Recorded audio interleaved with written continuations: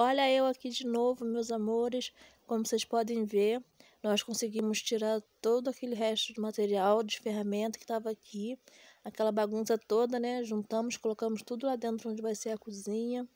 Aqui o banheiro, nós já rejuntamos tudo.